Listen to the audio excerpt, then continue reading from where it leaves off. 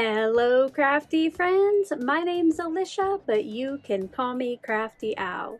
And welcome, or perhaps welcome back, to my channel. It is the last day of the month, which is when I like to share what has came in my P.O. box for the month. Some of these will be show us your sheet load cards, others will be just because cards, but I always love to get them. If you're ever interested in showing us your sheet load, whether it's by sending in a card for this end of the month video or sharing online, check out the description box below for the updated guidelines video. And if you want to send a card or note just because, my P.O. box is always located toward the bottom of the description box. Before I open my mail, I did want to let you know about a video that went live to the public yesterday, and that was my invitation for you to the upcoming free virtual crafty retreat hosted by Not Too Shabby. I, along with the other instructors you see on screen, will be taking part in a free virtual event this fall. So make sure to check out yesterday's video to get more information, including the exclusive sheetload of cards I will be sharing with registered attendees. Let's go ahead and open up my mail so you can find out why this is one of my favorite videos to make each month. Up first is a card from my crafty Danish friend Jo O from Denmark. She used the May 2024 sheet load layout to create this hello card. It's hard to see on camera, but there is so much shine on this with all of the gold metallic pieces. This thank you card came from Beth J from Florida, and her note inside said she tried out some new techniques for it, including some of my favorites, which is stenciling in a rainbow. Love it, Beth. And on a side note, you know, she's from Florida, and I don't know if I have any Swifties out there in my subscriber base, but does anybody else now, when they see the word Florida, they're like, Florida? Let me know if you do down in that comment section below. Delina A of North Carolina sent in two pieces of mail this month. The first on the left was a very sparkly 4th of July card. Unfortunately, the camera doesn't pick up any of the foil, including on the other card and pieces she sent in. Inside of the card with the roses on the front was a note about it being National Rose Month, which I know if my mom were here, she would love it because it has to do with flowers. And then she sent me all of these little kind of ephemera pieces, and every single one is foiled. Thank you so much. Shelly S. from Texas sent me this beautiful hello card using the May 2024 sheet load of cards. I love those florals and how she has put her sentiment on some of that paper from the background and popped it up in the middle of the card. And not pictured was a teeny tiny rainbow sticker on the inside, which I am sure she knew I would love. Michelle A. from Arizona used the June 2024 sheetload of cards for this beautiful Thinking of You card. I love the color palette and the florals on this. On her note on the inside, she says that she just realized she has 52 sheet loads printed out, which Michelle, the video I'll be sharing tomorrow is the 60th sheet load, so you might want to hunt some more of those down. She also mentioned she's hoping for a Christmas in July and then wrote hint hint, well, hint, hint, you might be pleased by my first set of cards using the July sheet load. Make sure to check out tomorrow to see what I created. Janet B. from Montana used the May 2024 sheet load to create this patriotic celebration card. I love that she created that decorated envelope and her stripes around the center and her stars are either glittery or shiny.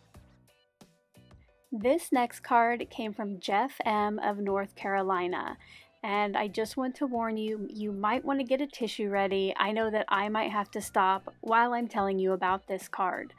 Um, it is from the husband of, uh, hold on. So it is from the husband of one of my channel members, and he wanted to let me know that she had unexpectedly passed away. And you guys, seriously, it, yeah, I almost have no words. And he had my address because Rhonda, who was his wife, has been or was one of my very long time channel members at the paper trimmer level member and I would send her cards each month with little notes. So the fact that he took the time to let me know this meant so much and I know Jeff probably is not watching this video but just in case, Jeff, I am so sorry for your loss. Um, I treasured Rhonda as a channel member, and I hope that you and your family and everyone who loved her is um, healing as best as you can from this. I wanted to take a minute to share a little bit about Rhonda. Um, from what I know about her, she has been a paper trimmer level member for over three years, guys, almost from the start. And she, like many of my members actually, was not known to me by seeing comments from her all the time or seeing her in the live chat. She was just like a silent supporter. Um, you know, she is probably like many of you who watch the videos and gives gives me the thumbs up, but you're not necessarily leaving comments or, you know, joining me on my lives and chatting, which I just wanted to say that even my quiet, crafty friends are greatly appreciated for each of your views and thumbs up and shares. May Rhonda rest in peace. Lori K from Minnesota also went with a patriotic theme for her card, but she used the June 2024 sheetload of cards. I love that patriotic scene there split between the three pieces paired with that blue and white polka dot. On her note, not only did she tell me a couple touching and sentimental things as well, but she mentioned how she thinks each of the new sheet loads is her favorite, and then she sees the new month. I think that's also kind of like me. I always think, oh, this is my favorite, and then I create the new one and I fall in love with it. Let me know down in that comment section below if that's how you feel as well. Barbara S. from Florida sent in this thinking of you card using the June 2024 sheet load. I love that soft color palette and it's kind of hard to see in the photo but that background blue cardstock has the neatest plaster embossed effect. So cool. Brenda G from Utah sent me this awesome thank you card, and actually it should be me thanking her. She is another one of my longtime subscribers, supporters, channel members, and I love the note inside and I love how she has used those strips on the top. That would be a great way to use up some scraps. And speaking of channel members, this next card came from EDC of Idaho, who is also one of my members who receives mail from me. It was a special treat to get a card from her where she told me more about herself, and I love that ribbon on the front and that cute little girl. Up next is a card from Jennifer S. of Oklahoma, and she has created a card with a gorgeous, colorful background and a black and white focal point, which you know I love. Not only did she create this beautiful card for me, but she sent me a set of the stencils that she used to create it.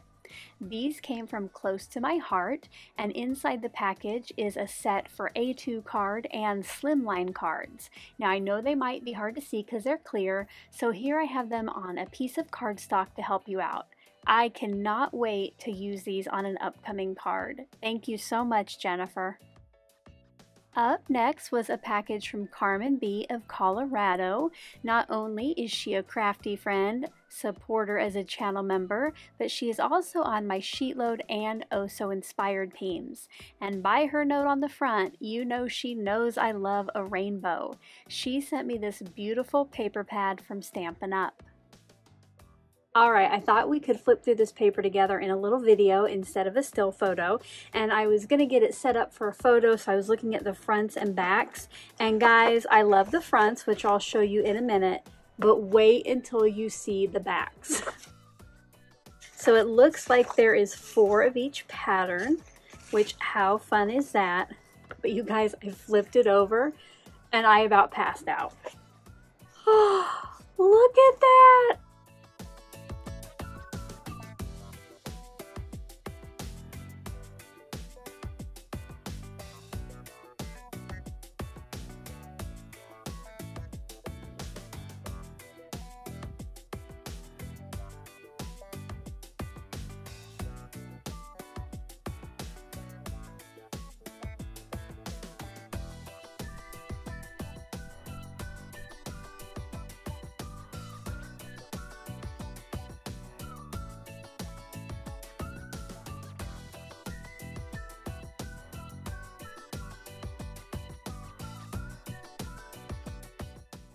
I am in love. Oh my goodness, Carmen, thank you so much. Now, if you have also fallen in love with this paper pad and you don't have a Stampin' Up! demonstrator, I will link Carmen's site down in that description box below. I know that she would love to have you as a customer and I know that you would love to have this paper. Now do you know why this is one of my favorite videos? Not only did I get so many amazing cards and the notes this month were so touching, literally one of them made me cry. And then a couple fun gifts. Thank you so much to those ladies. It is always amazing to see the talent, kindness, generosity of all of my subscribers. I'll be back tomorrow with the brand new sheetload of cards, which I will give you a little, it's not really a sneak peek, but a heads up that it is going to be the 60th sheet load I am sharing here on YouTube and we're celebrating with an alternative size card. So hope to see you here tomorrow and until then, I hope you're all having a crafty day. Bye-bye. Thank you so much for taking the time to watch all the way to the end of the video. I hope now you'll consider clicking on one of the videos or playlists I have linked above. And if you are interested in any of the products or tools I used in today's video, I do have some links in the description box below.